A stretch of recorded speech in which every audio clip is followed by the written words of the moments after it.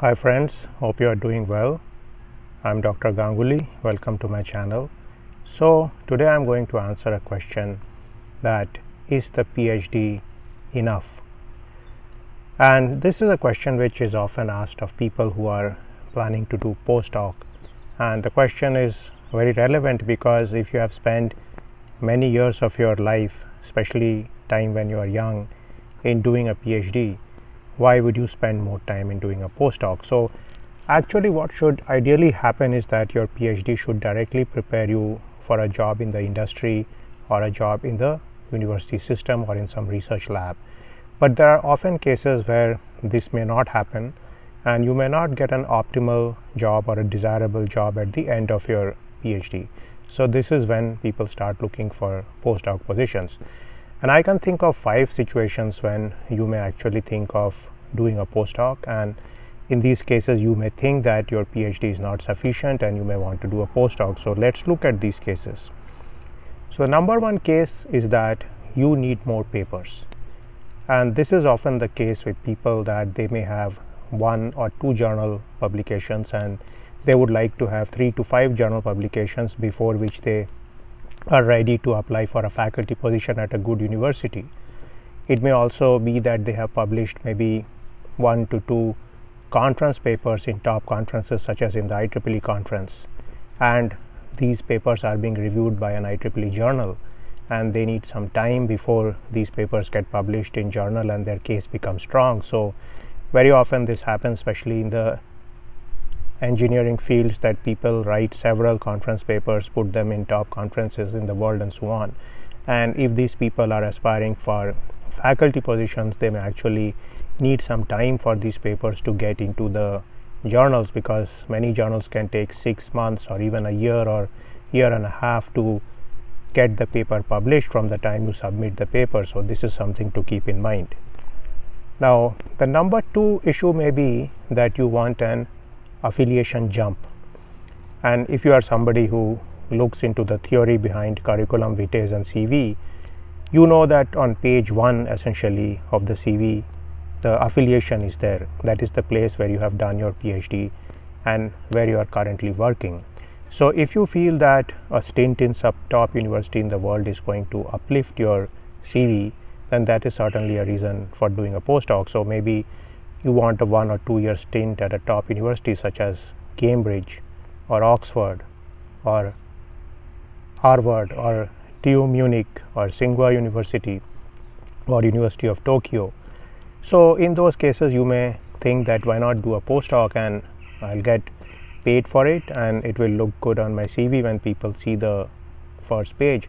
Because do remember that the place you went to most recently has the maximum impact in the eyes of the selection committee chair. So, they always like to see a highly ranked university there.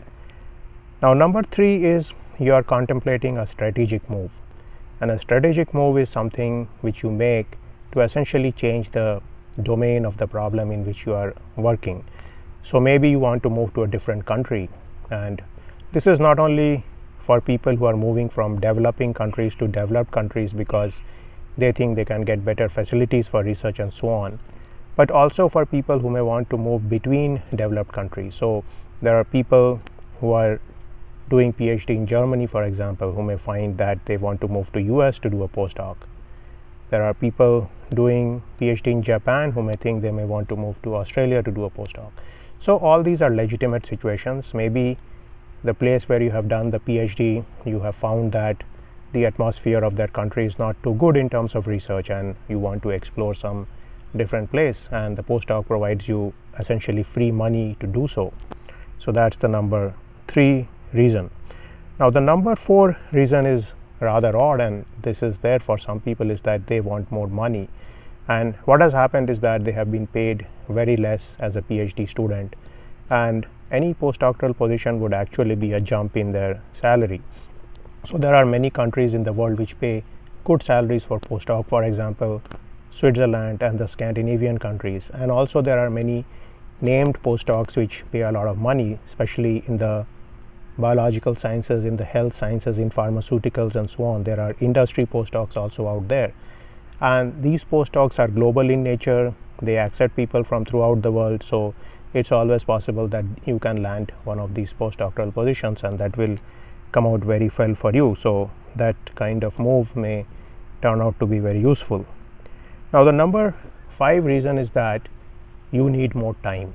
And this is something which happens to some people is that they reach the end of the phd and they have not really lined up a position for themselves. Maybe they have not applied for the university circuit they do not know whether they want to join industry and so on. So essentially they have not done enough introspection. They were very busy during the phd process itself. And now that they have suddenly got their degrees they want a quick position. And postdoc is essentially a way to spend some time in thinking about what you really want to do. So one of the advantages of doing the postdoc is you have your phd degree in hand. Remember when you apply for jobs as a phd you don't yet have a phd so people will be asking you when are you graduating? And this is a question which is really impossible for a phd student to answer because this depends on his supervisor on the state of his research on the papers under review and so on. And i would say in most cases the supervisor himself or herself doesn't know when his student is going to graduate. It depends on so many factors beside their own judgment on the situation. Remember the phd is not being granted by the supervisor. It's being granted by the university by a committee of professors and the supervisor is always somewhat diffident about putting a thesis in front of this committee. So keep that in mind. So essentially what the postdoc gives you is it gives you some time to think about the things which you need to do maybe delve into some newer problem which is more marketable maybe make your cv slightly more marketable by changing the affiliation by increasing your number of papers and so on. So essentially postdoc can be used to buy time and then you may land in a more optimal situation. Now the final number 6 point is you love to have the name of famous dead people who often are named in foundation postdocs on your cv so for example you may want to get the humboldt fellowship you may want to get the fulbright fellowship you may want to get banting fellowship and so on.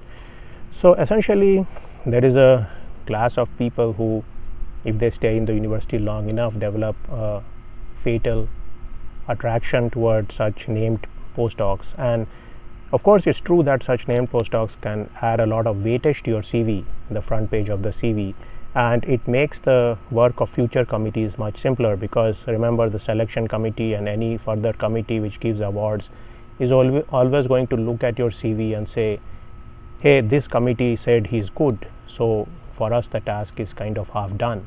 So that always helps the situation. If a person has got two awards or three awards following his phd named postdocs and so on it's much more easier to make a decision in terms of selection committee chairman. So keep that in mind. That is the number 6 reason to do the postdoc and that is if you feel that your CV will greatly benefit from a named postdoc. So these were some of my points about questions is a phd not enough?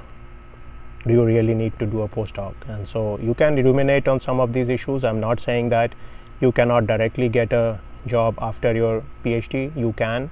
But there are people who think they may get a better job after a few years. So that is the reason often why they do a postdoc. So that was my video for today. And i will see you in a video sometime soon. See you then